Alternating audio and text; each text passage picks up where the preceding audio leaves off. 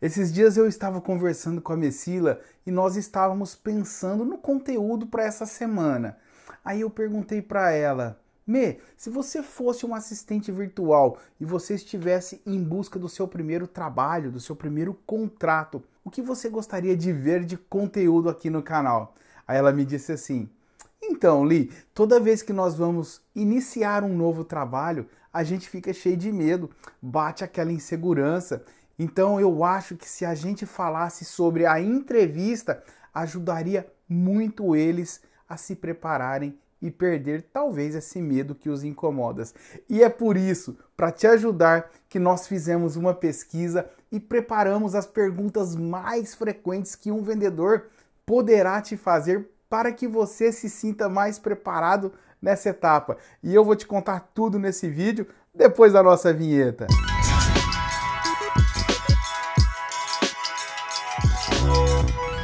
Fala pessoal, tudo bem? Eu sou Elisandro Moreira, para quem não me conhece, seja muito bem-vindo ao meu canal, ao Academia Amazon. Desde já eu quero te agradecer muito por você estar aqui assistindo mais esse conteúdo.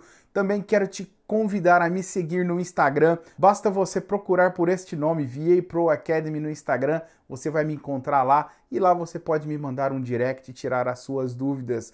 E aqui também eu quero te pedir para que você inscreva-se nesse canal. Se você já for inscrito, confira a sua assinatura.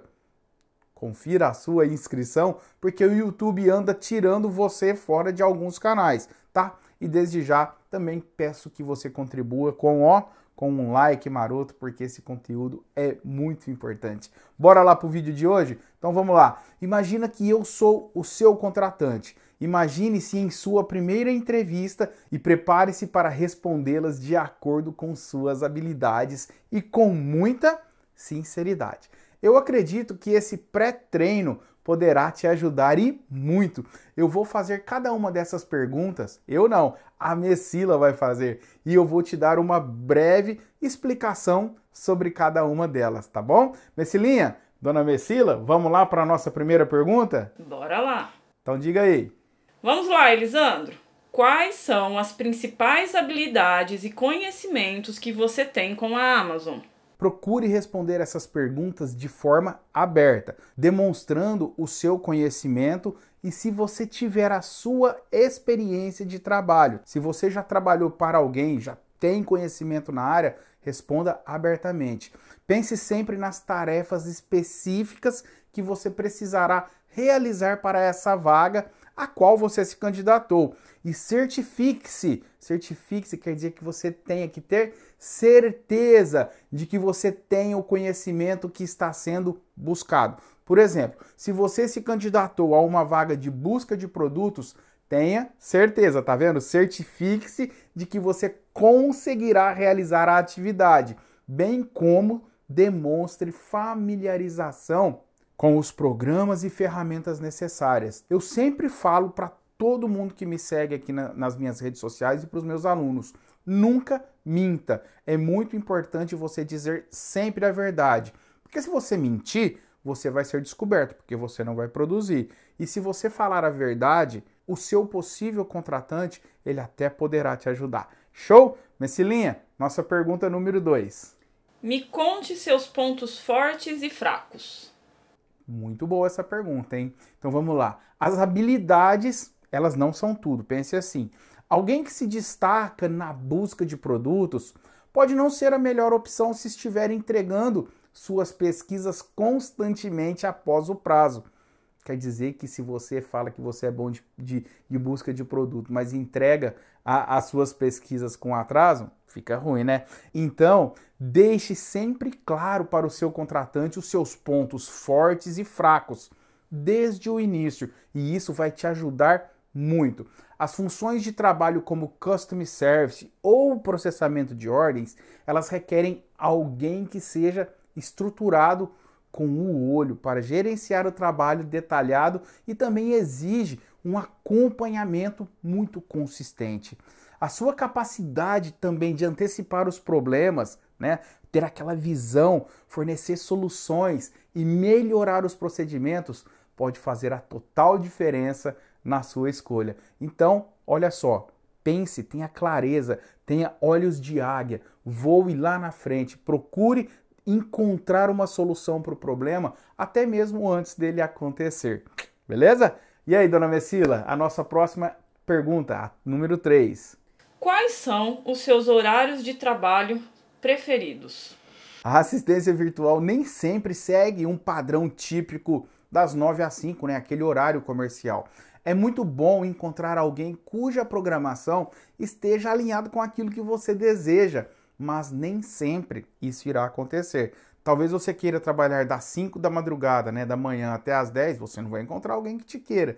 Então, por isso, você sempre precisa deixar claro ao seu contratante qual é a sua disponibilidade. É um jogo de encaixe. Também, nunca se esqueça da questão do fuso horário, se o seu contratante estiver em outro país. Veja bem, eu sempre falo que a assistência virtual é para o mundo todo. Hoje eu moro nos Estados Unidos, você mora no Brasil, Portugal, Itália, toda a Europa, China, Japão, qualquer lugar do mundo. Lembre-se, existe a questão do fuso horário. Aqui nos Estados Unidos, nós estamos com diferença de duas horas para o Brasil hoje. Na Filipinas, existe um fuso horário de 12 horas. Então é muito importante que você tenha essa noção temporal. Combinado? Não se esqueça. Messilinha, a nossa pergunta número 4. Me conta, quão rápido você responde as mensagens ou as perguntas durante o seu horário de trabalho? Então, assim, quando você entrar para assistência virtual especializada em Amazon, você precisa ter em mente que você está trabalhando à distância, como eu disse na pergunta número 3, né? À distância e com horários diferentes. E que você precisa responder ao seu contratante em um curto espaço de tempo. Será muito benéfico isso para você.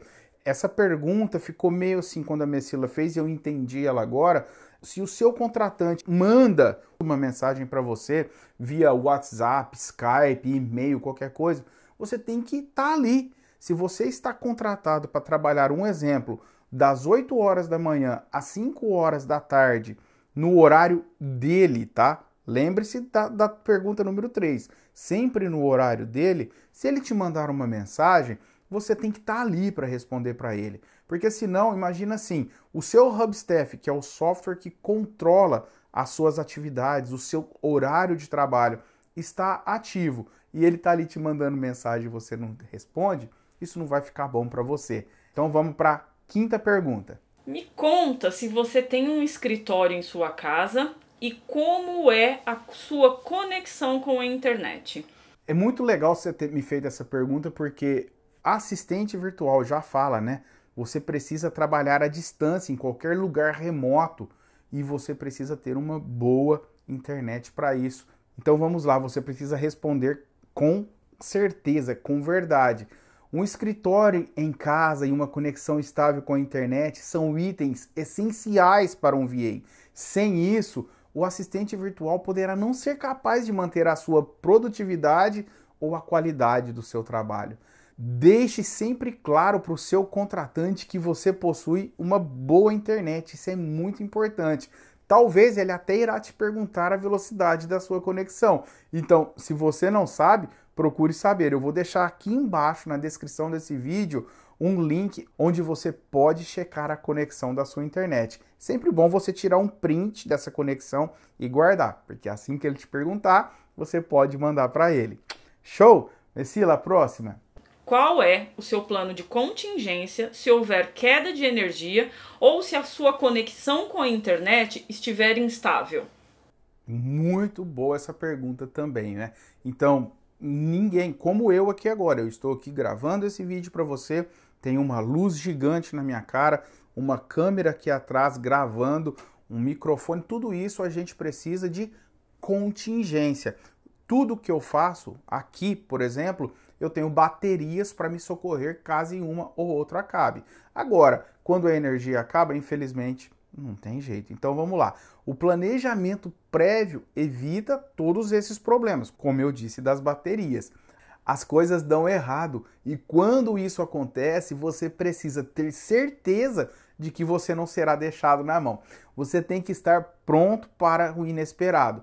Um exemplo: se vai ter uma manutenção de energia no seu bairro, já avise com antecedência para o seu chefe que vai acontecer essa manutenção e contar para ele também que nesse caso você tem um plano de contingência e o que seria isso? Trabalhar na casa de um amigo, na casa de um tio, vai deixar ele muito mais confortável e confiável também em você. Lembre-se que certas funções podem esperar a internet se restabelecer ou a energia voltar, mas outras, como o processamento de ordens, elas não podem esperar. Então, ele tem que estar sabendo do que está acontecendo para que não atrase, não acumule as funções e traga algum prejuízo para a sua empresa.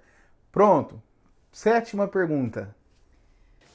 Imagine que você será contratado para a função de busca de produtos. Então me diga, quais são as suas expectativas com este cargo?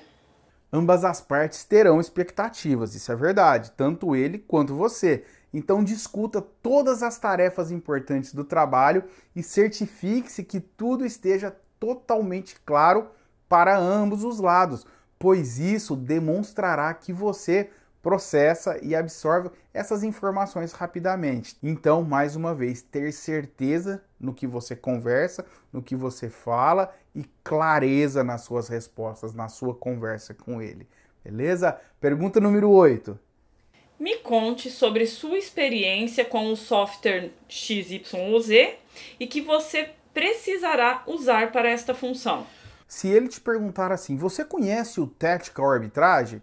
Se você conhecer, fale a verdade. Agora, se ele fala assim, você conhece o FBA Fulfillment Software Shangarel? Você vai falar assim, uau, eu nunca ouvi falar desse software e também não sei nem onde encontrar informações dele. Então, mais uma vez, sempre seja claro, não minta, fale a verdade. Se você precisar usar programas e softwares específicos, como o Tactical Arbitrage ou spot and paste, contar a sua experiência é geralmente muito útil para ele. No entanto, depende do software. A falta de experiência não é necessariamente um obstáculo se você se dispuser a aprendê-lo rapidamente. Como eu disse ali em cima, se ele falar que quer que você use o software Sharewell, você fala: "Você poderia me mostrar um tutorial de como usar esse software, um vídeo ou alguma coisa?" Pois eu não o conheço. Pergunta número 9. Me conte por que você está buscando esta nova oportunidade. Essa eu acho que deveria até ser a primeira pergunta desse vídeo, mas nós estamos chegando na décima e ela se encaixou muito bem. Lembre-se de deixar muito claro ao contratante as suas prioridades e o que você quer. Hoje em dia tem muito assistente virtual que entra para trabalhar com uma pessoa e logo logo ele sai fora. Então, muitas vezes os vendedores estão ficando velhacos, espertos nessas contratações. Por quê? Porque eles treinam as pessoas, eles gastam tempo da vida deles, do trabalho deles, ajudando um assistente virtual não comprometido e esse assistente virtual em 10, 15 dias, por qualquer motivo que seja, o deixa na mão, até mesmo sem falar um obrigado. Isso acontece muito. Então, deixe sempre claro para o seu contratante as suas prioridades e os seus desejos com ele, tá joia? Pergunta número 10 e acredito ser a nossa última. Eu gostaria muito de conhecer um pouquinho mais sobre você. Então me conta, quais são seus interesses fora do trabalho ou por que que você gosta de trabalhar em casa? É muito importante você começar uma relação aberta com o seu contratante, certo? Então, claramente, se alguém me perguntar o que que você gosta, como eu já disse em vários vídeos aqui, ah, o meu hobby é fazer cerveja artesanal. O da Messila é montar quebra-cabeça. Qual o seu hobby? Isso pode construir uma relação de confiança e de camaradagem entre vocês. Por isso, muitas vezes você será questionado sobre assuntos pessoais. Então esteja sempre preparado para lhe contar alguns detalhes de sua vida e também de sua família. Não precisa ser um livro aberto, lembre-se disso, tá bom? Eu quero agradecer a Messila por ter participado aqui comigo nesse vídeo. Ela não apareceu, mas está aqui do meu lado. Obrigado, dona Messila. E eu quero te convidar, pois está chegando o grande dia. Amanhã começa a imersão VA Pro. Se você ainda não se inscreveu, o link está aqui embaixo. E esse vídeo eu trouxe antes da imersão para que você já comece a ficar preparado para essa nova virada que você irá dar na sua vida. E se você gostou desse conteúdo de hoje, deixa já o seu like. Se você quiser compartilhar com outra pessoa, vai ser muito importante. E também deixa aqui embaixo o seu comentário. O que você achou dessas perguntas? Se encaixou para você? Ajudou a clarear a sua mente? Você tem alguma pergunta que gostaria de me fazer? Deixa aqui na descrição ou me mande um direct aqui pelo Instagram e eu tô lá para te responder. Então, nós nos encontramos quarta-feira na imersão VA Pro. Um grande abraço.